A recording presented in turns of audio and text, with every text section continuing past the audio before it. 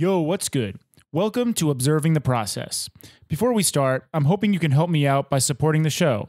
You can rate and review it on iTunes, Stitcher, or wherever you listen. You can share it with your friends, you can blog about it, or discuss it on your own podcast. If you're watching on YouTube, you can subscribe to my channel and like this video, or you can support it directly. You can do this by going to my website. I'll leave a link in the description. Thank you for supporting the show. Listeners like you make it possible. Today on the show, I had Marc Ressang. Marc is a filmmaker and photographer based around Asia. We talk a lot about the video production industry in China and a bunch of his travel stories. We also talk about his experience filming a documentary about Mount Everest. The documentary is called Too High to Fall, and Marc was a DP for the project. It's an incredible story, and I'm very grateful he shared it on the show. Please give it up for Marc Ressang. In the land of China, people hardly got nothing at all. No possessions? And in China, they never go to church. No religion too? Or do magic. Well, it's easy if you try, Dick. Three, two, one. Okay, we're live. Marc, how are you doing? Thanks for coming over. Hey, thanks for having me. Of course, of course. Um, recently on Vimeo, I just saw. I guess it's already been out for a month, but the Rebel Riders documentary. Right. Um, can you tell me about that? Like, how did it get started? I know it's about um, obviously in Indonesia, and um, these guys kind of like building bikes, and specifically from Vespa, which I thought was pretty interesting. Right. Yeah, so it all started when a friend of mine from Indonesia, a photographer named Muhammad Fadli, Mm. he did a whole series about these guys on a bike, on their bikes. Um, and it was something that I've never seen before. And doing some research, there wasn't really that much that I could find Mhm. about it. It was all like really local, some small bits from like Vice Indonesia or Mm. like newspaper clippings, but no one really ever did a video around it that um, really translated the whole craziness Hmm. about it. Um, so decided to go out there and see what it was like. And after first initial trip, um, started building on a concept, tried to find sponsors and send it to places like Vice or Nat Geo, but no one seemed to be really interested in getting it done. Mm. So in the end, I ended up doing everything uh, on my own dime, and then it, um, earlier this year, Dan came along as well. Dan, who was on the podcast earlier. Yeah, yeah. Dan Um, Agarafi. yeah. shout out. Um, so he came along, and we tried to film as much as possible for a week, and then realizing that in Indonesia you can't really do much in only a week's time. Mm. So we planned to shoot a festival, which didn't work out because we weren't allowed to get in Mm. to the festival for being foreigners. Really? So this festival is going to like be based in Indonesia? Like, yeah, oh, okay. it's it was supposed to be, or it is, uh, Indonesia's biggest festival meetup. Hmm. So we were planning this whole shoot around that, and then getting to the festival, we found out that because it's held on a military air base, we were not allowed to enter as Wow. foreigners. Not even allowed to enter. So maybe it wasn't even like they didn't want you to participate, but just like the where the place they were holding it was just like no. Yeah, it was just off limits, and we found some other foreigners there from you know coming over from Jakarta to uh, Bandung, which is a few hours outside of Jakarta, Hmm. and they also weren't allowed to go in. So Yeah. there was just no way we would have been able to do it. Hmm. So just going back and forth a lot and trying to call whoever would be able to help, but didn't work out. So we had to go with plan B and just hit up people on Instagram Hmm. and try and find where they're based and if we could shoot anything with them in the like three days that we had left. Hmm. Just trying to like finish it up. You're talking about like Yeah, get more content. Like you were you felt like you were missing some pieces. Or Right, because the whole video would have like sort of revolved around people building their bikes, getting it ready, and going to this huge uh, festival. Oh, okay. So, that So- that was like the story in your head Yeah, before it's done. Obviously, is they're going to this festival. Mhm. But um, yeah, the way it ends, as I remember, it's just kind of like uh, this is what we do. This is who we are. More Yeah. of an individual. Like, is like- Everyone does their own thing. yeah, we're creative. This is like our creative outlet. Yeah. Yeah, that's cool. So yeah, some questions people on Instagram and myself had is like, okay, so you already mentioned Mohammed, you had as a friend, and that's your homie who like introduced you to the scene.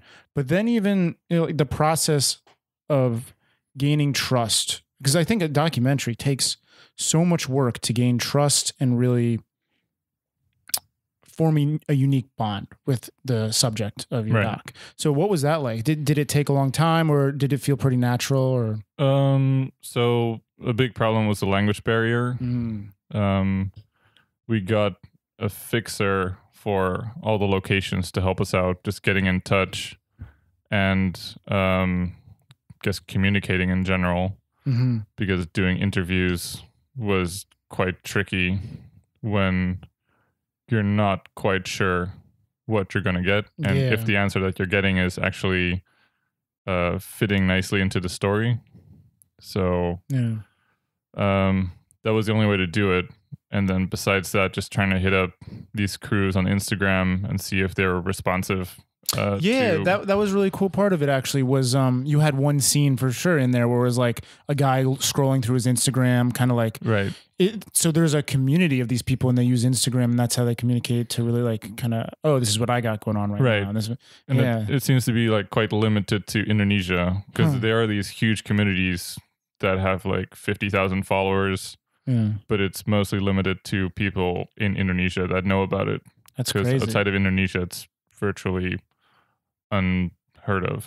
to do this style of like reconfiguration of Vespa Right. bikes and Yeah. that was something that was so weird is like first in in general the the Vespa motor is that what kind of um makes it so configurable and customizable or did you know anything about that going into it or like why they chose Vespa motors in particular Right. or so it's more like Indonesia has a history with Vespa um, as a brand Hmm. since the 50s. Mhm. So there's a lot of really cheap Vespa parts floating around. right just like recyclable like Yeah. recycling, yeah and you can get a, a secondhand Vespa for like a hundred dollars. wow Probably not working very well, but enough to it's good for to parts yeah. yeah get some pieces out of it.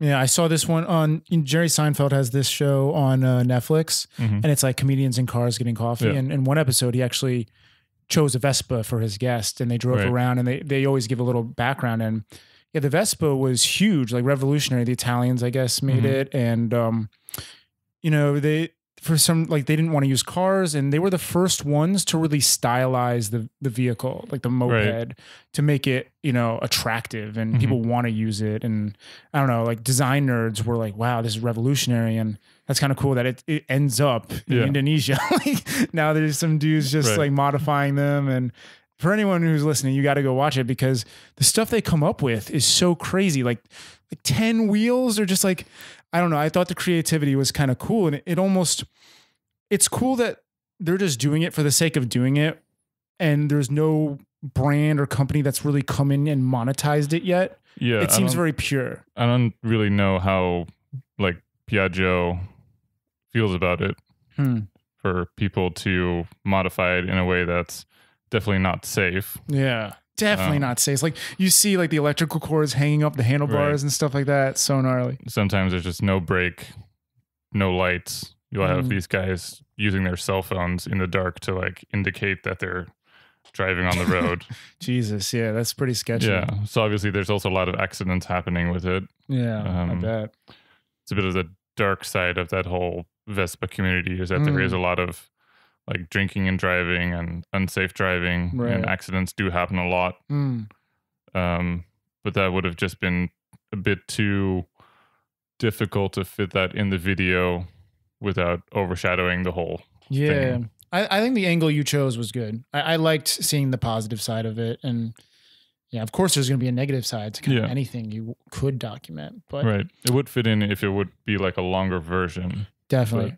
Well, okay. So the next thing that was like, we were out to dinner once talking about this before it came out. And um, you had mentioned like you're going through the process of trying to sell it Mhm. and figure out. And for me, that was interesting. And even right now, it still seems like you have something that you could sell. Like Mhm. you could continue to add on to this if you wanted to and Yeah. create an even larger doc. It's it's and like for me during that dinner, it, it really opened my eyes to like how stuff happens, and it's a way longer road than I really would want it to be. like Right. you know, so I if you want to, I, I think listeners would really benefit, like myself included, the process of documentary filmmaking and like how long it is, and because for me, I've never, well, I've wanted to make this and I've wanted to get sponsors, but like it's not like you get a sponsor from the go and then you build it. It's kind of like you have to have proof of concept. Yeah. So would you agree with that or? Yeah, and it's definitely like documentary uh, photography or filmmaking is not for the money. You Mm. need to really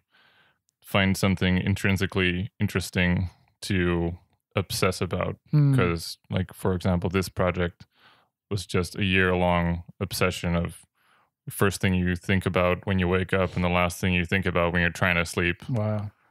Um, so that's definitely it takes a toll, Hmm. and it still needs to be fun in the end. Yeah, definitely. Definitely. Um awesome. So I think I usually wait a little while to go into this segment of the show, but it's called like Instagram lurk where I uh go deep into my guests' Instagram and um we kind of just like jump off of stories. So for you, one of your first photos has an iPhone 3GS. So I I have one of these so you can open it up and see what the first photo is and kind of tell people what's going on. Oh wow. Yeah. so I don't even remember this. I guess it's just testing out my phone, huh? but what's I found so funny, I I think that's an iPhone 3GS in the photo Yeah. that you're taking. Like it. yeah, and then um, yeah, it's just back in like 2011. It's just a selfie, pretty much. Yeah. So, do you were you in China at that point, or I think so. I Yeah. got to China in August 2011, mm, and I think that was still before Instagram got banned. Oh, re- probably, yeah. Yeah. yeah. So, and like for people listening, like there's like one of those classic IG retro filters, like with the square on it Yeah. and all that Little stuff. black square, white border. Yeah. yeah, that was uh, that was a while ago. Yep. So that's the first photo. You can go to the right, and then I have a, another photo. Um, so I think which one is that? Um, the Yeah. So shots on the bar. yeah, shots on the bar. So I don't know if this is this project, but something a friend told me to mention is um, Shanghai Nightlife series. Yeah. Is that like part of this at all, or is that like way before that? No, this is part of it, but it was also something that I didn't really start out as a project itself. Hmm. It was more that when I first moved to Shanghai, I was working in nightlife Hmm. just to like party, meet people, and make a little money on the side. Sure. Definitely not enough money, Hmm. but um, it was in retrospect a very interesting time in Shanghai uh, in terms of how much crazy shit was going on. Hmm. Um, so I did this nightlife photography thing for about four years total. And was it was with a company or like a Um, sponsored company or? it started off with like the first company I was interning for in the beginning, Hmm. and then it just um, just went freelance Hmm. and started working for like Smart Shanghai and some clubs directly. Right. Um, and I ended up at some points going out four or five times a week. So after four years, I was pretty much done with that. Yeah, I mean, like I've done some nightlife photography myself, and um, it's it's kind of draining. Like you have to be in the right frame of mind Yeah. to want to be out there. And the question, like for me, what what camera were you using?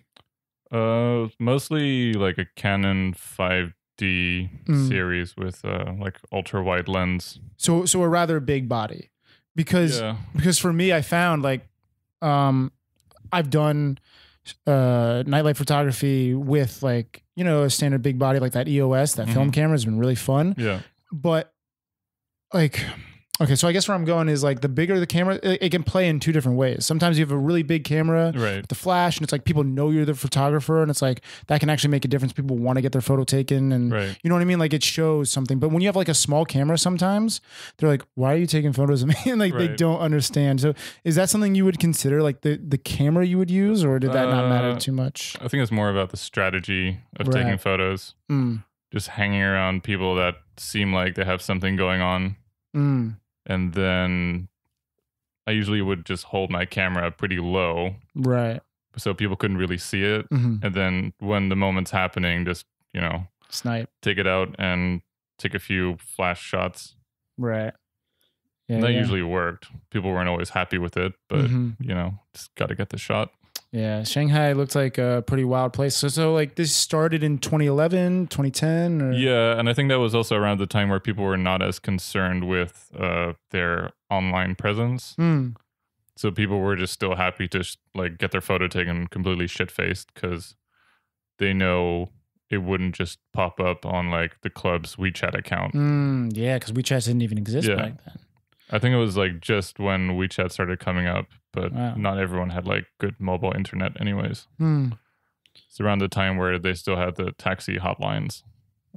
Taxi hotline. Oh, like to Yeah. call and yeah, like you know. it's like the English translation service hotline. Yeah, that's pretty wild. Damn. Yeah. So before we go even deeper into this timeline, I think actually it could be kind of good to go back to where you're from and your experience. Uh, you're Dutch, right? Yeah, So what what part? Near Amsterdam. Near Amsterdam. Yeah. Okay. And um, yeah, what was that like growing up in Amsterdam? Like hobbies, interests? Like was Well, photography yeah. a big hobby back then, or Not really. Hmm. Um, so it was like a suburb of Amsterdam. Okay. Not really Amsterdam itself. Um, pretty quiet. And then when I was around 11 years old, I moved to Belgium, Mhm. like a suburb of Antwerp. okay? So basically, my elementary, high school years were all pretty quiet. Didn't Mhm. really travel much. Didn't do any photography at all. And then once I went to college, signed up for, um, I did study international business. So at least with that, I could get in touch with people that were not just from Holland or Belgium Mm-hmm. because I feel like if you don't do that, you'll probably end up in a bubble of people that just you know live and work in the same place and Yeah, don't definitely. really. They still travel, but they don't really connect with people that aren't from their background. Mm, definitely. Yeah, I find um, when I studied abroad for the first time, it really opened my eyes to connecting with a diverse group of people can make such a big difference on your outlook and the Yeah. type of work you can produce. Yeah, And I studied uh, marketing, well, not international business, but marketing. And um, I mean, like, I feel like I use that today. It kind of works well with, you know, social media and marketing yourself as a, a creative. Like for me, like photographer, video, whatever I want to do, that, that is a good background to have. And I use it for that, but not in the traditional sense of like using it for a brand, which is what I think I was studying, you know, like marketing for a brand or working for a Mhm. company. But in the end, it still is valuable to me to use that kind of stuff. yeah. I think the most interesting aspect was still just like cross cultural um, awareness or communication. Mm. And what university was this? Like, University of Rotterdam. oh, Rotterdam. I know Rotterdam. I've heard of it. Like, Yeah. it's kind of like the next city in, in close to Amsterdam, like that people Yeah. would go to. If Right. yeah, yeah, yeah. I have a this dude Catfish, who's like a professional BMXer, and he would go there on trips if he wasn't at Amsterdam. Right. He would be at Rotterdam. Yeah. It's a very different city, but it's Mm. only an hour away by train. Yeah, and I think what, what I was surprised to learn is that like apparently, you know, weed and the prostitution and all that stuff is only really legal in Amsterdam. It's not really legal outside of Amsterdam. Like they use it as tourism, right? Is that true or It's still legal in most places, but Mm. um, I guess in Amsterdam it's just more prominent. okay? Like everything is downtown. Hmm. I think in Rotterdam everything is a little bit more spread out. Hmm. Maybe just not as like branded and fully like f- flashing lights Yeah. type steez. It was also because Rotterdam got um, almost completely destroyed in the Second World War. Oh, okay. So Amsterdam has a lot more of that, you know, classic European Mm. appeal. right. So it's more authentic to the, the like just culturally, it's Yeah. older, Right. different feeling. Yeah. Did you ever, um, if you grew up close to Amsterdam, what was that like? Is it like in America, they think like, oh, if it's legal, like kids are just going to start smoking at such a young age? Or do, do you have any thoughts on that? Like the experience growing up with it, just kind of like around? Um, it was always just around.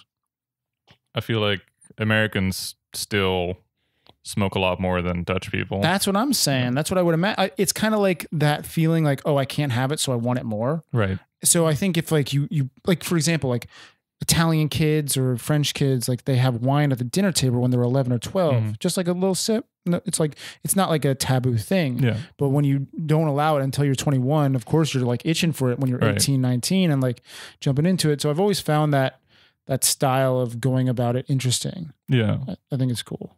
I think also growing up in Belgium, it was always just around in Belgium Hmm. because you could just drive across the border and Yeah, it's not it's not that far away. yeah. Yeah. Okay. So after college, what what's what goes on then? Like, do you is there something in between China and college, or Um, I went to Hong Kong for an exchange semester, Hmm. which was interesting, and I really liked Hong Kong back then, when was that? 2010. Okay. Yeah. Oh, so pretty close to Yeah. getting into China. Yeah, Hong Kong is. um I was just there this past weekend, and actually, it's amazing how like of a different culture it feels like. Even it, it's so close. Right. Or I mean, is it China? Whatever. Yeah. it, it's it's still it feels like a different culture and Mhm. it, it's interesting how like the architecture and the people it's so much more international even though Mm-hmm. i feel shanghai is very international it's like hong kong is really international Right. with the type of people you see and interact interact with and yes how long were you there for Um, just five months. okay Yeah, and I used to love it back then, but every time I go back now, it's just too claustrophobic for me. that's what i'm saying like there's something that like about me that like i want to like it a lot Mhm. but it feels like just like too much almost. It- Right. It's strange. Like I don't know. I, I Shanghai seems like the perfect mixture of it's not too Beijingy where it's so spread out, Yeah, but it's not too Hong Kong where it's like people are on top of people and you're always like the architecture is insane. Like you're walking up like little stairs every moment. like mm. it, it, it, I guess it's like you know it's built on a mountain pretty Yeah. much, so that makes sense. But it's it's just a totally strange feeling. right. Extremely like narrow sidewalks Yeah. that you don't want to be on during rush hour or lunch break. Yeah, yeah, yeah. Definitely. So you what did you do there? Like were you just studying or Yeah, studying sort of wasn't much studying involved. right. For me too, like party when you go Yeah. study abroad. yeah, just an excuse to to see the world, travel, party. Mm-hmm. Like every chance you get, you'll just do a trip outside of Hong Kong because Sure. you know Philippines is close, Yeah. China is close. Mm-hmm. um, I think the most interesting thing is just meeting a lot of people from all over, Mm-hmm. um, and people that are in the same mindset. Like no one's there to, or a lot of people are not really there to study, but is more to just broaden your perspective, meet people from other places, Mm-hmm. and um, yeah, it's, I still keep in touch with a lot of these people, um, and I think they're all all quite interesting. Mm-hmm. So that's your first introduction to Yeah. Asia. That's interesting. And then um stay there for five months. At what point do you go back and then like you did you graduate and what's the transition from graduation to Yeah, I just finished up and got out as soon as possible. yeah of the Netherlands? Yeah, or- just because or like once Belgium or- once you've seen what the world has to offer, just Yeah. like go out and get it. Especially when you're young. Yeah. Yeah. That's definitely the same thing for me. Like I studied abroad in Australia. And then it's almost like I can't remember what I was thinking before I studied abroad. Like, was I interested in the rest of the world? I, I it seems like I, I should have been, but I really think f- really leaving your continent Yeah. and, and going to somewhere like completely new, even if it's Australia, which is very similar culture. Like, well, you know what? I also traveled to Thailand when I Mhm. was on that break. So seeing that kind of stuff was like, yeah, gotta get out right Yeah. after I graduate. And then, yeah, I just got introduced to China through work. Right. So what about for you? Like when you graduate, did you, were you, did you feel pressure to find a job after you graduated or Not really. But Yeah. like money is always a thing. of course? Um but then it's also the original plan was for me to go to grad school Mm, and get a master's degree in marketing. okay. but then just decided that I should at least, you know, do something useful. Uh, start off with an internship. Mm, Uh, thought Hong Kong would be the right place for it, but then there's just nothing remotely creative happening in Hong Kong, mm, in like on an internship level. So Shanghai was the next Yeah. best thing. Right. When we were even in Hong Kong, we met up with a friend who's a designer and she's like, Yeah, Hong Kong is just not a creative city. It's like all about finance Yeah. and it's just not the place. So yeah, Shanghai. it's not a fun place to be on a budget either. no. Because I don't want to live in a shoebox. And, dude, literally a shoebox. Like I've seen, I think some Vice doc or someone that there are cages. Some people are actually living in cages, like in these apartment buildings. It's scary claustrophobic. yeah, and just hearing stories from people that you know that do live there and how much they spent on rent. Mm. Um, it's just not worth it. So yeah, Shanghai. You you move there to find an internship or Yeah, I just ended up with an internship here with a like nightlife startup company, okay. So like this is where we jump back to Yeah. the beginning. and then it's also like Shanghai still has a good platform, and it used to be a lot, um, I think, more flexible for startups that weren't like as well, um, like had good fundamentals. Hmm. So it was like people Not a good foundation. yeah, people having like a wild idea and then just running with it for you know as long as possible Yeah. Yeah, Uh, I've heard stories. It just it was like the wild wild west. Of just Yeah. you can kind of run with anything. It was a different time. you can convince anyone to like put some money into it Yeah, there's. I mean, there still is money floating around right now to do crazy stuff. But yeah from the people that I've had on my show, it's just like 2000 to 2010 was just you know a money grab for brands, just like throwing money at anyone who wanted to do anything. right and you still see it with some like especially f&b stuff hmm how there's bars opening and closing in like the same season Dude, it's crazy. so So much of that. so yeah getting involved in that when you're fresh out of school is not that great because then you're at the you know low end pecking order. Yeah, and you just have to do all the dirty work. Sure. and sort of uh, acknowledge your seniors as you know wise men that know everything and you know don't worry about getting paid. Even Dude. when this ship is sinking. Yeah, I mean, like that's such a problem with the I think the creative industry is that like it feels like something that um or for most people it is like I love to do this anyways. Mhm. So like even if I don't get paid, I still want to do this. So then it, it- you have to eventually figure out like your value, how much you're worth, and be comfortable asking for that. And that's a hard thing that I think I've gotten a lot better at, but it takes time. So- Yeah. especially you're you're wide eyed going in as an internship, like you don't know what to do. yeah and it's also recognizing the type of characters that you'll encounter Mm. like people that are just overconfident and full of like empty promises Yeah. for example Yeah, that's uh, everyone has run into those, and if you haven't yet, you will.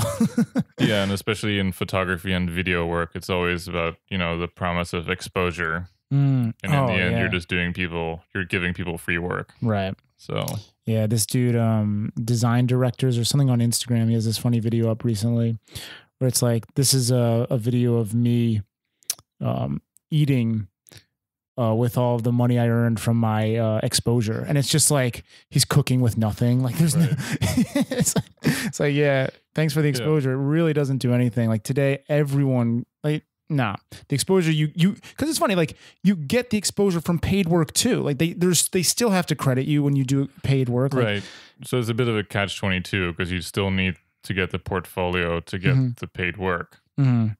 Yeah, for me, I do see some value in doing free work for a short period of time. Like, right yes, if you don't have a portfolio, you're gonna have to do some stuff. Like for me, I interned at Push for six months for basically free until like then I was like more than an intern and like doing real editing work and you know you work your way up.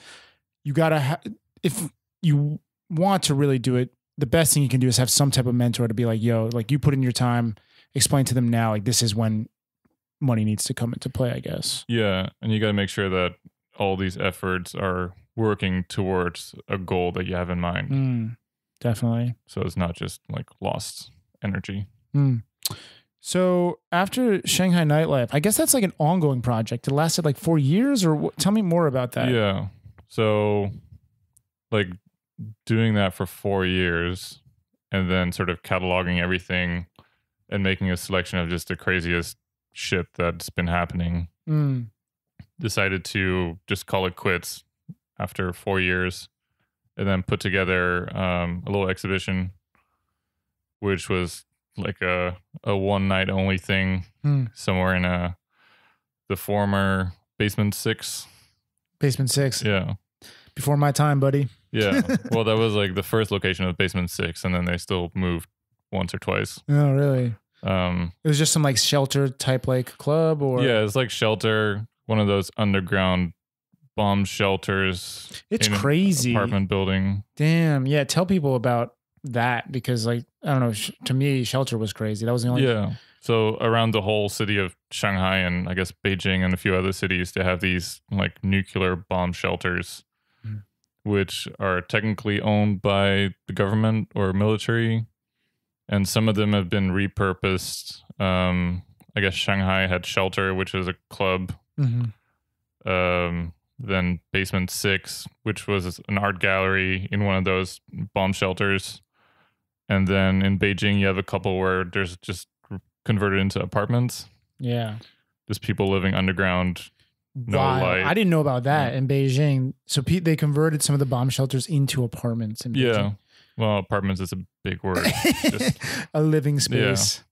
Even living space is like a stretch. right. But um there's oxygen and yeah, I didn't even I mean I guess it makes sense. Like they were literal bomb shelters. Like when, when I went down into shelter, it was so crazy. Like you are in an actual bomb shelter and you're partying with like all this loud music and lights and yeah, those are the golden nightlife years. Yeah, I, I I call it like the last year. I, I say that I think on every single episode, but it's my claim to fame. I caught one one last year, 2015. I feel like was like, and they had like shelter and Arkham at the original Arkham, and Lola. yeah. But uh, so Basement Six. This was uh, I never experienced Basement Right. Six.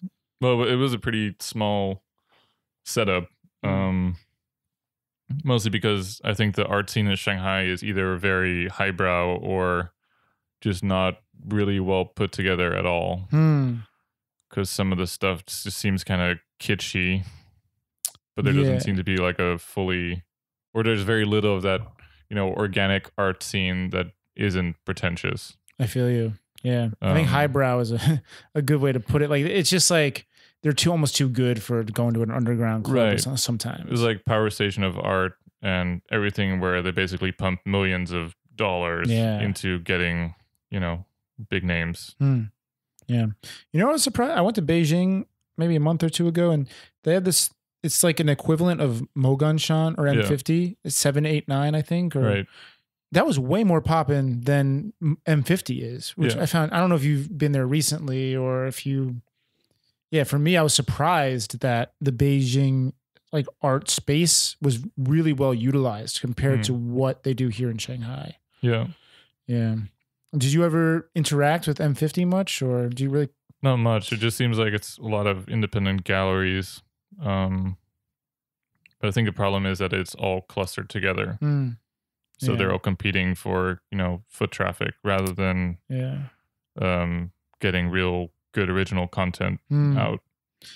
Yeah. First, for me, it, it just it's one of those things where it feels artificial, Yeah. where like an art space really shouldn't feel artificial. I guess. Yeah. There's no real community around it. It's Yeah. just like an, a gallery owner that sells stuff, Yeah. but there's no, you know, artists don't go there. I think it used to be a, a really well utilized place. Like maybe 15 years ago, Yeah. someone was telling me they went there often, and then when they came back for their trip, like in the in the past five years, they're like, "What is going on? Like, I, this used to be like Yeah. so good, and now it's just Well, even the used." graffiti walls that used to be around it was a good hangout. Mm. Yeah. But then once that's gone, there's no real reason to go there unless, you know, someone's serving free booze. Right, right. yeah, that's so funny, man. Like for me and like my skater friends, that used to be such a reason. Like we would somehow just always like when I first got here, you know, liquid laundry. Yeah. Like they had a night where it's just like free beer all night. like they, would just do that. Like, and this Right. was like high quality like IPAs or something. Like they brew their own beer there, and it's like free beer until the kegs run out. And we would get there the second it opens, and I think we would be responsible for finishing half the beer, like me and ten Right. of my friends, and like. That was crazy. And I think that was going on for 15 years, 15 forever. Like Yeah. And then it just kind of those free things kind of faded out. Yeah. Do you, Because do you have any memories? Yeah. Um, back when 88 was still a thing, Club 88. yeah. I don't even know. No, Um, tell yeah, that, that got converted into I think two different clubs afterwards. Hmm. But that was the main sort of kitschy Chinese club to hang out and get free booze just because you're a foreigner. Right. I so funny. I used to get high paid to go like as a model, like right. to be There's your table. There's Yeah, your complimentary they give you a table, bottle. They give you a free bottle, and um, it was so funny. My friend who introduced me to it, his name was Kevin, and um, he's like, "Yeah, they like come with me. Like they'll pay you to come here." And we get there, and they're like, "You're okay to me," because I'm like literally just at six foot. right. And for some reason that night, he's like five ten. Like you're not good. so the guy who introduced me to it, like, and then it sucked though because I was by myself. Have to, you have to stay there until like two in the morning. And like, yeah, it's fun if you have a big group of people around you. Yeah. But if you don't really know, there's other like, kind of like Russians or just like Right. like people that I just don't know that are involved in this scene, and they pay you 200 RMB to chill there. Eventually, I just like sat in the back and just like waited until I Yeah. could leave. And yeah, did you ever do that kind of stuff? Um, not paid, just Yeah. for free booze. Right. So like you would go to clubs and they'd just let you in for free. Was that the deal? Yeah, it seemed like it was. It was always just like a WeChat message being sent around. It was like, "Come to this club right now, Right. free booze." Yeah. Yeah. For people, who, I mean, to my understand, to my feeling, I I don't think it's really like this anymore. But back in the day, they, like business owners thought you would build a ton of hype for your club if there's a, a bunch of foreigners Right. there, like on opening. Maybe you can tell the story, like if you agree with that, or Yeah, I've, I think it was always. Uh, well, most Chinese clubs are all like table service. There's no Mm. real dancing. Hmm. So then all the standing tables are for walk-in customers that don't want to buy bottles right. and the foreigners. So you put them in the middle of the club so everyone can see. hmm um, just so it looks international Yeah. and pop in and supposedly would attract more people to come to the club and spend more money on bottles. Yeah. I think that's exactly what it was. They they thought like, okay, for the first couple weekends, you know, we'll get recap photos. There'll be a bunch of foreigners in the Right. photos. They're all having a good time, and then like everyone else, oh, that's the club to go to. I, it was called Fusion, I think, by um in Lao Shimin, like you know, or sorry, Xintiandi. Uh, Yeah. Anyways, that was a club that I experienced this at. But you're Yeah. saying this was at 88 was one of your first. Yeah, well, 88 was like the no- notorious one just Uh-huh. because it was so kitschy, like a whole steampunk vibe around it. Yeah. And uh, yeah, every time I'd go with my buddy, we just get a bottle of whiskey for free. With So funny. like no obligations. Finish a bottle and get out. Yeah, dude. Uh, I mean, like, that's just fun when you're 21. It's awesome when you're 21, man. That's like dream. Like, it's like you're treated like a celebrity in a sense. Yeah. Even if it's might be fake alcohol. Dude, that was something I was gonna like. Friends of mine would say like there is fake out. Maybe it is true that fake alcohol is floating around, but like, Yeah. what does it even mean to be fake? Like, Um, well, it's not like the the stuff that makes you blind. It's more that they'll have a bottle of um, like Jack Daniels, for example, and they'll just refill it with cheaper off right? shelf uh, bourbon Mm, that makes and sense. pass it off as you know Jack Daniels for two dollars. Yeah, man. They the business people out here, they know how to make a buck. Yeah, I mean the whole city is a hustle. So That's true. The whole city is a hustle. So speaking of hustle, when you're getting past this nightlife photography gig like project, mhm. what what is the evolution of your career in Shanghai? Like, are you working on video at the same time? Because yeah, you're you're a photographer and a, like a, a filmmaker, I would say. So like, I think you start out with photography, but you evolve into filmmaking. Yeah. So it was always um like photography is always pretty uh badly paid. Mm, yeah. But then video is suddenly like a bigger project and you get paid a few hundred dollars more Mm, because you'll be busier for, you know, uh, a few days trying to edit a shitty nightlife video together. yeah. Um, because you can add video like for people who don't know there's like line items basically and you just say like a day of shooting and then a day of editing it's like Right. just a way to make your budget bigger, I guess. Yeah. So it's still not a lot of money, but it's just adding on to stuff to do during the day when you're not at the club drinking. Hmm. Yeah. Um, so that just gradually grew into building a video portfolio. A big problem with that was that I was still just being pigeonholed as a nightlife guy, Right. and no one wants to hire the guy who does nightlife videos for their corporate interview session. Yeah. So it slowly like built and then started doing other stuff for free, of course. Yeah. Because the only way to build portfolio is just to, you know, offer yourself and build your portfolio doing stuff either for yourself or for other people for free. hmm So did a bit, a bit of like fashion short documentary bits for whatever startup was willing to hire me. Yeah. Yeah. um yeah started building a portfolio started getting slightly bigger projects um and at the moment mostly just focusing on camera work hmm because the good thing with video is that you can sort of expand to a team where you can just focus on one thing compared to the photography um, role where you're basically doing everything by yourself Hmm. Yeah, unless you're a massive photographer, you're not going to have like a, like a solid team behind you with lighting and you know many assistants or yeah with video. That's an interesting way to look at it. Like the amount of roles in video production compared to photography is just there's like so many more roles in video Right. production. and you can make a very you can make a good professional photograph all by yourself hmm with video it's basically impossible to do something that's uh, like commercial grade video if you're all by yourself Yeah, that's true. But but you, it's funny. More and more now, you'll see people being able to achieve amazing things by themselves. Right. Like, for example, like Patrick Wallner does some some really dope stuff with visual traveling, Mhm. like just going around with just the way he operates, and you know even on YouTube, like there's travel vloggers, and whether you like the content they produce or not, the quality is impressive. Like just with today's technology, Yeah. I guess. it's really what you're trying to achieve with it because if you really enjoy doing everything in the process then that's great Mm, but for example i don't particularly like editing mhm. So if I can outsource that to someone else without having to pay him out of my own pocket, then that's perfect. Yeah, why not? Yeah, I personally don't like ed- editing either. Yeah. I like editing my own stuff. I, I, I like if it's my own story and I don't have a client Mm-hmm. Great, no problem. But when you know the client is very picky and it just becomes more of like it's just editing is not for me, I guess. Yeah. But um, And it's also for something to really like specialize in. mm, yeah, yeah. So you're not like a master of none.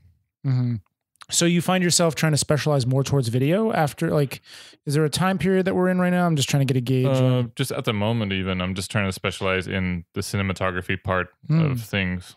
Well, I mean, like you've been doing it for a while. Like, what was one of your biggest, for your first, like solid video projects you think you worked on? Like, if you could date it back. I think probably the Everest documentary. Oh, okay. Yeah, What time? What around time? What time was that? 2015. Okay, Yeah. and this is a pretty heavy one. So I, I'd love. I guess we can get into it right now. The the Mount Everest experience. Yeah.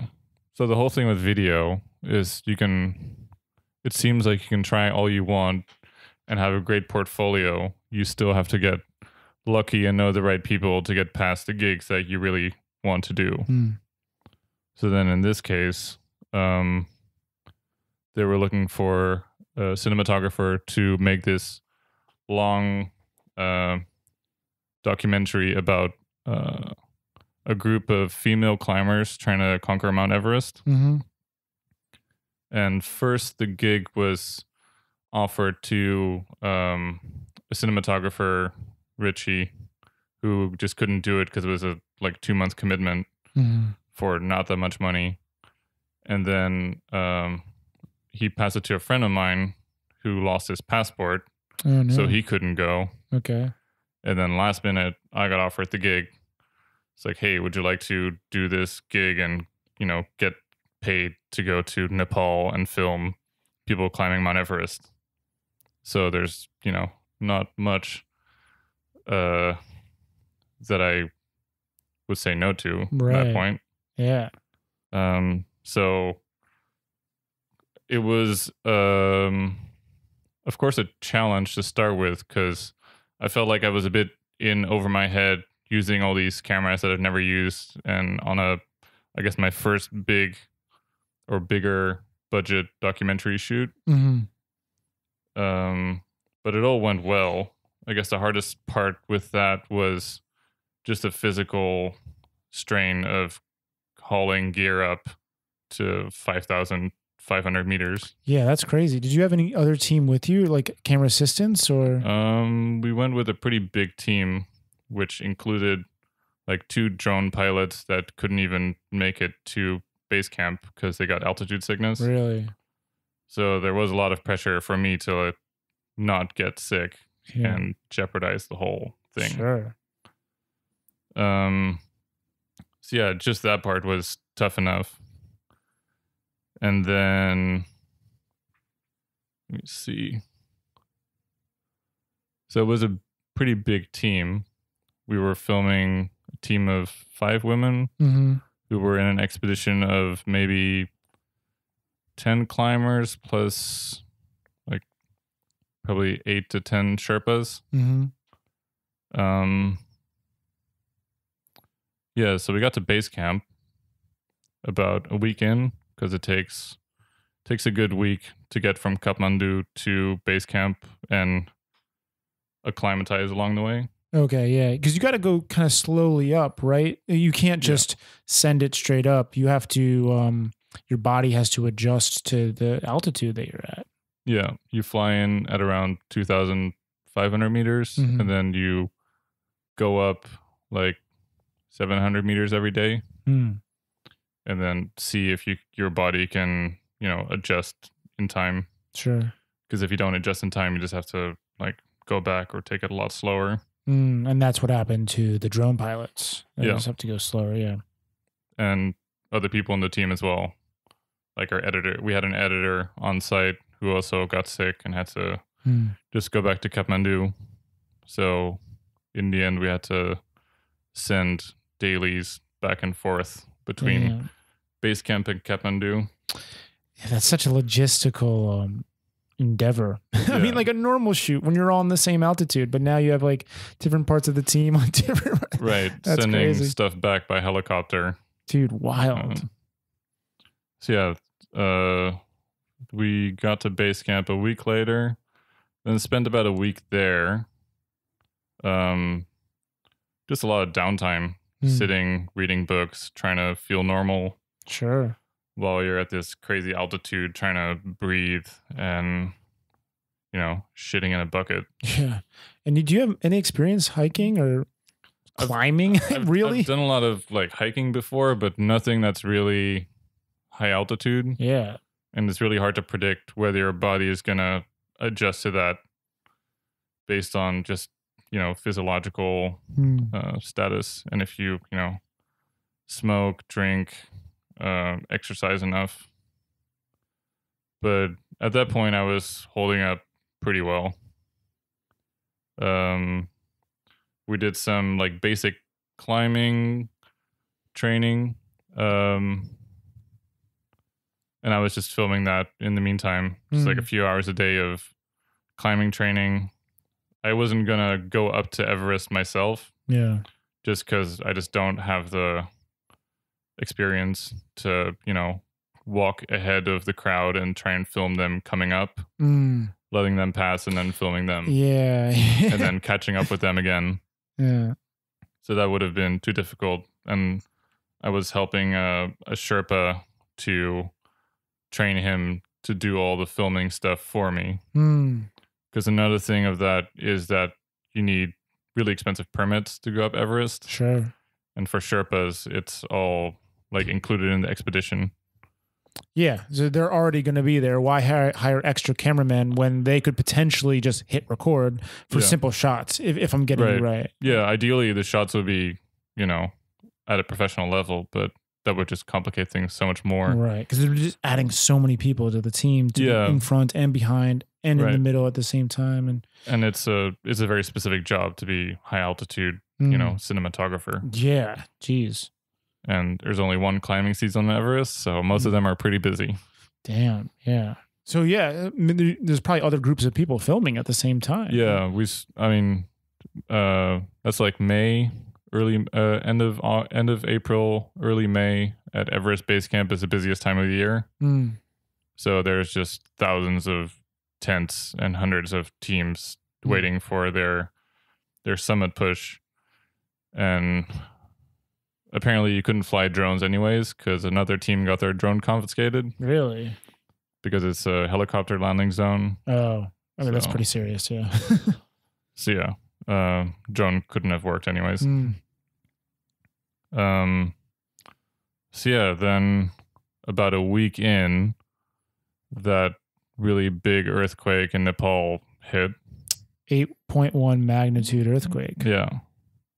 So when that happens, so the whole base camp is on a glacier, and you don't you hear the glacier crack and move the whole time, Mm.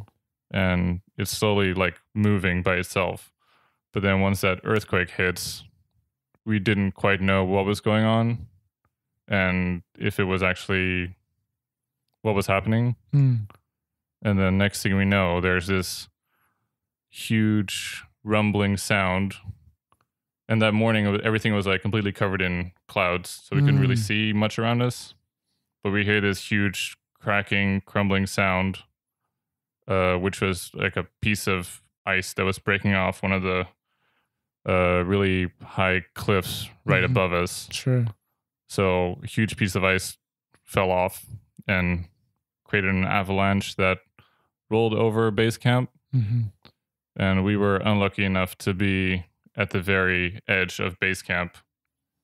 Um, so I guess we got hit the hardest. Yeah. And then, yeah, I got hit in the head with something. Can't really remember much of the moment itself except for just waking up and not being able to move much. Jeez. because I broke or like I cracked a couple of um spinal discs. Mm. Um, people were thinking that I might have like broken my back, so I wasn't allowed to move. And they tied me to a board, like a just a styrofoam board. Yeah.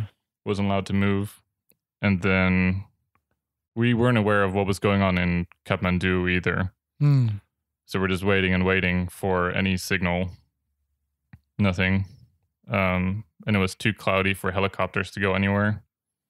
So I basically had to spend the first day and night at like a medical tent with all the other seriously injured people, Yeah. um, waiting to get evacuated. So then after the last, the longest 20 hours of my life, finally got sent out to the next camp hmm and then triage next camp another triage and then we finally got to kathmandu with uh, most of the team. And then there found out that most of kathmandu is destroyed. And yeah just a chaotic ride through town trying to find a hospital for us to get uh, uh to get put in to the er Yeah. um yeah once we found one the big problem was that um our team got split up because they couldn't find enough space for everyone to be together Yeah. so then i got sent to one hospital other people got sent to another um bunch of aftershocks in between Mm. so it was all just pure chaos um at least they had plenty of morphine so i don't remember much of the first Yeah.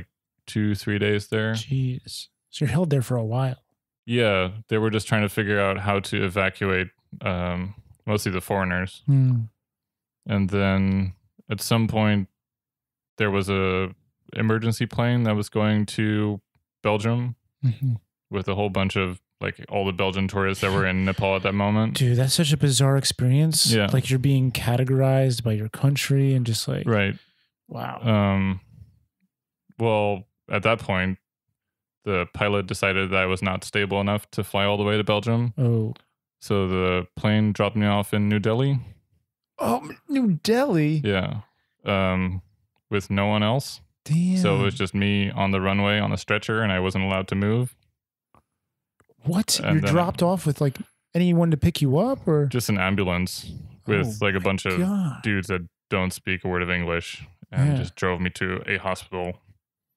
Um, once I got to the hospital, they were considering like doing spinal surgery, Sp- which oh. luckily they didn't do. oh my God. Um, yeah, also back in in Kathmandu because I got I got hit in the head with like a piece of rock or whatever. Rock and or ice or something. Yeah. yeah, it cut open my face uh above my well, across my eyebrow Yeah. and they stitched it up pretty roughly. Um I thought I might have lost my eye because I couldn't see anything because it was so swollen. Mm. Um, yeah, taped that all up. Got to Delhi. Luckily, they didn't do any surgery. hmm And then two days later, I got another plane from Delhi to Istanbul, and then Istanbul to Brussels. Finally, so I finally got back to Brussels, um, like f- four or five days later hmm and of course that's like pretty rough to hear what the family's been through because they only hear bits and pieces and you know like your family. yeah Yeah. They don't know anything that's going on. well they know like bits and pieces because luckily enough um the director of the documentary was in kathmandu and not base camp when the earthquake happened Hmm. so he was able to sort of direct all the you know the team to hospitals and such Yeah. and he was able to get in touch with my family and inform them about the situation Wow. um yeah then hearing later from my family the amount of uh, trouble they went through of just trying to get in touch and trying to get me back home Yeah. I mean, you're Um, basically unconscious for most of this or unreachable. Like you said, you're on morphine. Yeah. Like you don't know what's going on. You're being thrown from country to country. right so in, in india i arrived with just uh, a hospital gown and my passport Oh yeah, and the only reason I went to India was because I happened to have an Indian visa in my passport. That was one of my strange questions. Like as you're telling this story, is like, what's the visa situation like? Do, do they? Yeah, that was the only reason I went to India. wow. Otherwise, I would have gladly skipped that one. Yeah, man. That I mean, like, not to knock India, but I don't think they have like top notch medical services. I'm like, Yeah. thank God they didn't do spinal surgery. And like, did did it turns out you didn't need spinal surgery, or Yeah, I didn't need it. you just didn't need it? You did Um, you you said you broke some discs or something, or Yeah, which um which wasn't like too bad. I didn't I just did like physiotherapy, but I didn't need surgery because there was no like nerve damage. okay. Um yeah, they were just really stingy with the morphine in India. So that was the the big downside. damn. Not trying to take care of that pain. No. And that was the good thing about Kathmandu is that they just gave me enough morphine to sleep through all the aftershocks and Right. whatever surgeries they did oh on my, my face. god! So like I've heard bits and pieces of this story, but I did not really know the details, and that is just like the, the chaos of what happens after. Like I Right. really didn't think about that when I've heard what this what happened. I heard I thought like, oh, like you survived, and like you're more or less dealing with the trauma. And like like somehow I, I don't even know what I was thinking. Like somehow you're just stable and like things Right. work out. But like that madness of how like a place like Kathmandu will operate. Yeah. Of course, they're not going to be able to operate top notch. Like they're not a first world country, right? Like they Right. don't have the the infrastructure. They don't have like none of that. I considered. Yeah. And especially with the aftershocks, like when an aftershocks happen, people just like evacuate from the hospital. Oh yeah. And they just leave people Yeah. in the emergency room. I mean, like you got to be a, a hero doctor to really want to stay behind. Right. And, like, damn, that's yeah. You get the resources become so few and far between Yeah. once that happens. Man, so I mean, th- does this change the way you look at? First of all, like near near death experience. Like, is is that something you think about? Like, does, does do you think it changed you much afterwards? Not really. Yeah. Um, mostly because I was already like doing what I wanted to do. So there Mm-hmm. was no like change in course of life. That's an interesting way to look at like most people if they had a near death experience, maybe if you were in a corporate job Mhm. and you were like kind of like bummed on life, like you would switch things up, but like yeah. you were already going for it. Like you were this Right. happened on Mount Everest. It wasn't like a car accident where you were Yeah. driving to an office. Right. That's interesting.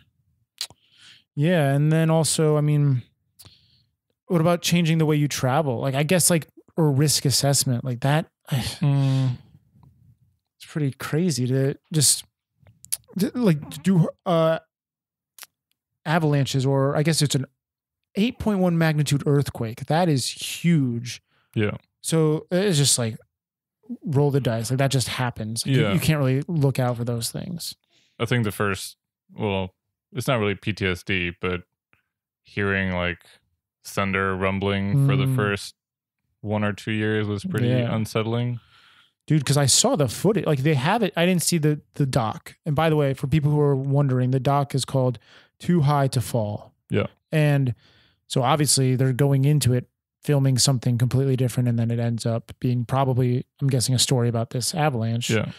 Um and someone was filming as stuff was starting to come down. Yeah. So it was filmed by some, I think, German guy Okay. who um, we were able to get the footage from Mm. for the documentary because I was, I think I, I put the camera down and I was not expecting anything to happen for the rest of the day because most of the day you're just sitting there and reading books. Okay. So when you hear the glacier crack, it's something you can't really capture on camera anyways. So Mm. it's not really worth like picking up and setting up a shot because you're going to be too late anyways. Yeah. Yeah. I mean, it's just like kind of mind boggling to think, um, yeah. And then, so you just like you were in your tent or you were kind of like you hear the stuff and you can like, exit and From what I remember, because it's all a bit vague, um, getting out of the tent, seeing, you know, stuff coming at us and then running for cover. Mm, It then gets a little squirrely because I don't Of quite know what happened. yeah. Um, but yeah, I got I got lucky because a lot of other people didn't. People died, right? Yeah, I think total of like twenty plus people. That's, that's, that's hard to hear. And I guess is for like just imagining myself being in the situation of um, surviving and then knowing other people died. That's just a, a heavy one to handle. Like, Yeah, well, especially. Uh, yeah, it was strange because it's people that you know you have dinner with the night before, and you Yeah. hear their life story, and then all of a sudden they're just gone. And then I, yeah, I didn't really get um much detail when stuff was happening, but then Mm. hearing some accounts from the Sherpas later on about just how gruesome it was yeah. is unsettling. Yeah, man. I, I actually was when I was looking through your Instagram, I did see, you know, there's one photo you have on there and then like 20 comments of just like, oh my God, I heard what happened. Like, are you okay? Like wild to think, yeah, that one can experience that. But Yeah. man, thank God. I mean, made it through it and moved on. So after that, what's like recovery like? You spend a while back home or just kind Um, yeah, I went. So after I got back, I think I spent about two months just recovering at home, Mm, and then I just got really, really bored yeah. because there's only so much Netflix you can watch. um, so then I went back to Shanghai a little bit earlier than I should have, just because I had to do something, and being in the suburbs of Antwerp isn't really doing much for my mental health. sure, sure. Um, so I just went back to Shanghai, and the next couple of months just spent a lot of time partying, Yeah, just living it up. sure. Um, kind of just getting back to normal life, you know, yeah, like get over it, you move past it, and, Right. and then it's back. Because you do a ton of traveling after that. Like I, as I was going through your Instagram, there is so much. Like we can pick up the phones now and kind of scroll a little bit, and maybe we can get to. I don't know. There's there's one thing I wanted to ask. It was um the the the film you made uh Buzakashi Oh. Is that how you pronounce it? Buzkashi. Buzkashi. Yeah, I don't I don't particularly have a photo in there, but it was um dude, that doc or that's that's more of a short piece Mm-hmm. of just like can you explain to people what's going on in that piece? Yeah. So it's like a a popular Central Asian sport, Mm. which is kind of like rugby but on horses. And instead of a rugby ball, it's a goat carcass. yeah, bizarre. Yeah, and it's one of those things that you s- I found bits and pieces of online and some photos, but Mm. it also didn't quite capture what it would be like seeing it in person. Mm. So found out that it was mostly happening around one certain time of the year in a certain place in Mhm. Tajikistan. So, you know, decided to just go check it out, bring the camera, see what happens. yeah. Did you meet many of the locals, or is it also just a big language barrier thing? And Um, yeah, I I got a fixer just to make it easier, and these these games are were not easy to find because you have Mhm. to like go ask the locals and drive Oh, into the yeah. mountains. it's an amazing amount of people on horses, though. It just seems like it, someone should die every time. Just like people falling off the horses. Yeah, people do get injured. Chaos, like massive chaos. Right. Yeah, for anyone wondering, to go watch the piece, and it, it's just like uh, it looks like medieval times. Yeah, like they, they like it doesn't make sense like how they're just like doing this with it's just casual for them. yeah. I think the nice part is that a lot of them are wearing Russian tank helmets, Mm. which adds to the aesthetic. Yeah, it's it's a real vibe. But yeah, dude, just like so. Can you maybe try and explain the goal again? Like I, I didn't fully get it when I was watching it. Like the the goal is to take a dead goat and drag it across the field, or and then people are intercepting it, or Right. You just basically need to grab the goat from the ground up yeah, and then try and deposit it into like a goal post area. yeah. And that's Yeah, I mean, and then you score, and then every time, like when you score, you can win something. Yeah, So sometimes it's just cash or like a new TV. sure, casual. Yeah. new TV for dead goat in the in the bucket. Yeah, whatever people want. yeah.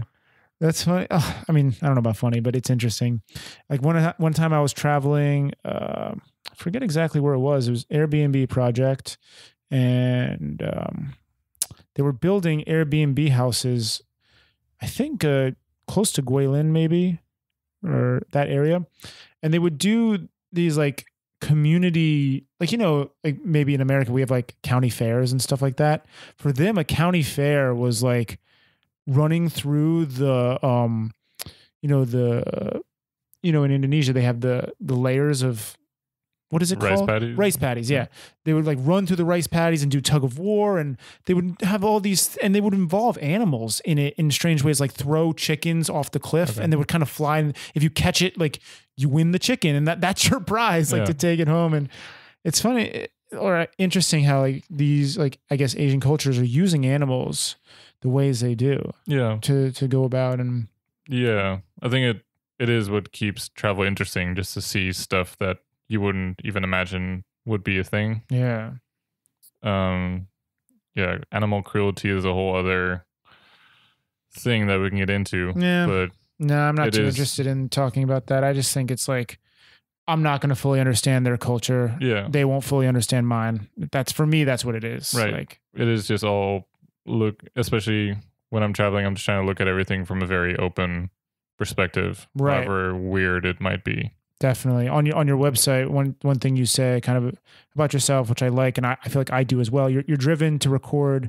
human stories around the world, and for me, like even when I started Shanghai Observed, it's like it's about being um, objective. Like there, there's I want to be not subjective at all. I don't Right. really want to like paint their story. I want to document it and let them tell their story. yeah because there's a lot of really polarizing stuff out there Mm. but it would be injustice to the culture however you might perceive it um, to document it in a way that's not objective hmm Definitely. Any other um, stories about traveling around, like and working with brands or anything? Um, so like one of the weird travel stories is like, for example, a region in Indonesia where uh, once every couple of years they take out their dead relatives from their graves and Oh, dust them off and change their clothing. wow! And like an annual thing, or Uh, every three years, I think. wow, I never heard of this. Yeah. So that's also one of those things that you know you can look at from different perspectives, but if it's you know tradition, then Hmm. it's just interesting enough to see how other people deal with death, for example. Yeah, yeah. My friend said he was documenting a, a I guess, a funeral ceremony in somewhere in southwest China or central China, and they carry the body like all the way up the mountain, Mm. and um, it's a long process to deal with it. And then also, even Jay was talking about funeral ceremony about how they uh, they burn like houses here in Yeah. China. I don't know if you've ever seen that, but like sometimes you'll see like it's a toy house, someone carrying it down the street Right. or on the back of a bike, and yeah, and they burn it, and they also burn money, and yeah, so many different ways to deal with it. How'd you get that? How'd you get that one um, to shoot? Did you shoot it or photograph it or? Um, Uh, I took photos. hmm, Um, it was quite a while back, and then eventually was able to sell it to Vice. hmm, But then, of course, it didn't pay me enough to even cover my flight ticket. damn. Yeah, that's uh, that's that's Yeah. doc life, I guess. Yeah, it's just one of those things that even if you don't get paid enough, you sh- should probably still do it because otherwise someone else is just going to take it. Mm, yeah. And if it's interesting enough, then just going there and seeing things for yourself is worth it, I think. Yeah. So uh, before we start to wrap up, I, I am interested to talk about, a little bit about um, High Horse, which is, Mhm. a, I guess, a, a production company you kind of started. And so, how did that come to be? Around what time did that did that happen? I think that was 2014 ish. Okay. And so, um, you do you have a buddy? And you just kind of wanted to like kind of brand your business, or Yeah, I mean it's it's about scaling what you do Hmm. because a lot of times, um, if you want to work with brands or agencies directly, they wouldn't hire an individual by themselves. They would always just go through a production house. sure. So we had the idea of starting a production house, get bigger projects, Hmm. and then sort of you know um, build a brand name for yourself, and eventually have the goal of just getting certain type of gigs Mm-hmm. that you want to be doing rather than you know the gigs that pay enough to get by Yeah. Or pay well even Sure, sure. Yeah, having a brand behind you just makes all the difference in the world. Yeah. It's kind of interesting. Like, also because then you're not um you're building like a yeah the brand name rather than name for yourself right. which can grow to like a bigger size than you are by Yeah. yourself But yeah, for me, even like there's there's so much of a difference. Like the work that goes on behind the scenes of a brand, and you know, maintaining things. It- Did you find that it was like a stress on your creativity, or did did uh, yeah and that's one of the reasons why i i left in the end is Mhm. because running a brand you're still going to end up doing more stuff on the business side rather than the creative um and in the end i just want to shoot i don't want to go to like business meetings and Mm. do business development right? so I felt like that just sort of took away from what I wanted to do at a point that's also critical in my career to develop those skills. Yeah, So, you know, spending five days a week at the office trying to edit a video that I don't care about yeah, doesn't really help my, you know, sense of purpose for even just being in Shanghai because you're so far away from home Hmm. doing stuff that you could be doing anywhere else. yeah. I totally agree. So moving forward, what what do you got on the horizon? What are you looking forward to? Um, Because I know you told me that um, you're not going to be spending as much time in Shanghai. Like you Yeah. kind of will be based a little further south. Did you say or? Yeah, so we're gonna be based. Me and my wife will be based in Saigon, Hmm. and then just coming back to Shanghai for work because I still have my my contacts and network here. Of course.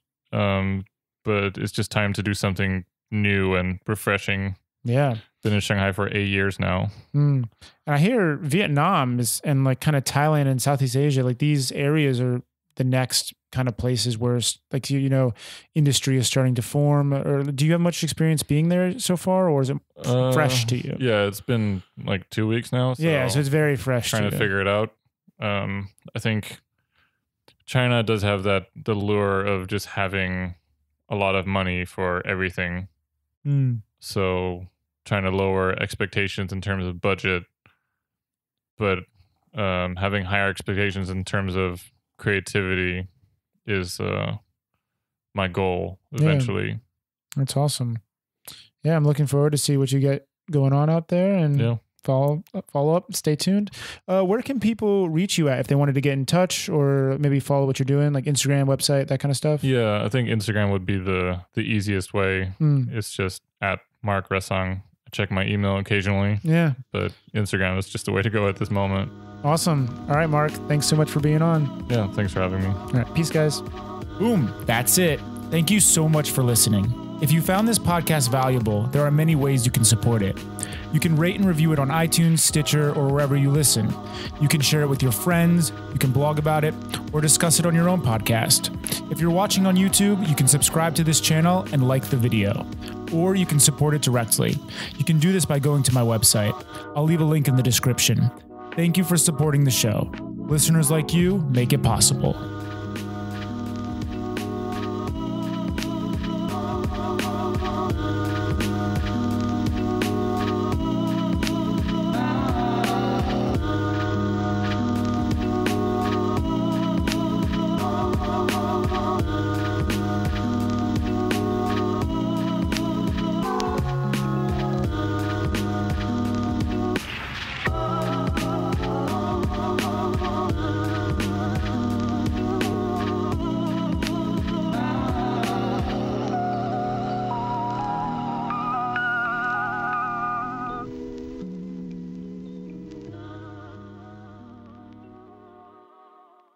Also, if you enjoyed the intro and outro music, it was made by my brother, Danny Greenberg. You can go and check out his beats at soundcloud.com slash estoric. E S T O R I C. Okay, that's it for now. Peace.